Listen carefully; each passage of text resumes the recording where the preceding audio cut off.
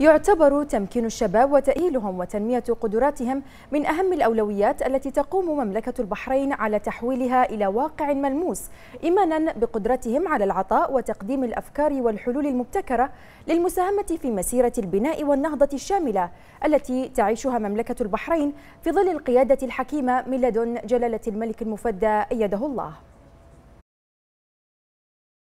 لم تأل مملكة البحرين جهدا في رعاية فئة الشباب وتمكينها من سبل النجاح والتفوق والإبداع في المجالات العلمية والعملية كافة والتأكيد على ما كفله لهم الدستور وميثاق العمل الوطني في ممارسة الحقوق المدنية والسياسية والاقتصادية والاجتماعية والثقافية كيف لا؟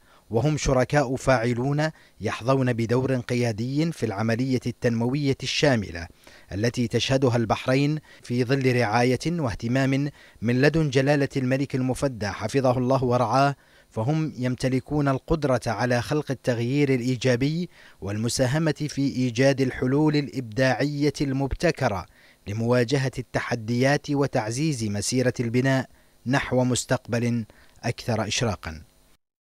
إن مسألة تمكين الشباب كقوة عمل وبناء هي مسألة ننظر إليها باهتمام بالغ لما لتلك القوة من دور مؤثر في صوق مستقبل الأمم.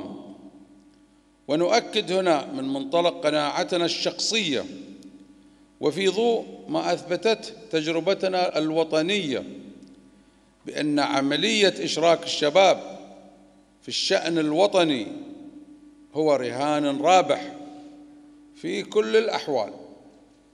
متى ما تم إعدادهم الإعداد السليم بتدريبهم على القيادة المسؤولة وفسح مجال مشاركتهم في عملية صنع واتخاذ القرار لإحداث التطوير الإيجابي الذي نطمح له جميعاً. ومن منطلق أن الرهان على عنصر الشباب رهان رابح. تؤمن مملكة البحرين بأهمية تمكين الشباب بالمعرفة والمهارات المطلوبة بشكل فعال ومؤسسي مبني على أسس صحيحة وإفساح المجال أمام أفكارهم وطاقاتهم بما يجعلهم أكثر قدرة على تحقيق النجاح والتميز. لذا فإن تنمية قدراتهم وصقل مهاراتهم من أهم أولويات الخطط والبرامج الحكومية. ولتحقيق الغايات المرجوة فإن المملكة توفر لأبنائها من هذه الفئة التعليم والبرامج التدريبية والدورات المهنية والإدارية والقيادية. وذلك لمواكبة التغيرات وامتلاك المتطلبات وقد كفلت التشريعات الوطنية والسياسات والبرامج الحكومية تعزيز مشاركة الشباب وتأكيد دورهم القيادي في المجتمع كأداة تغيير إيجابي. Youths are extremely well placed and ready for original thoughts, which is what we need today and going forward. Therefore, this is essential to now put in systems to listen to youth ideas and to experiment and execute what works.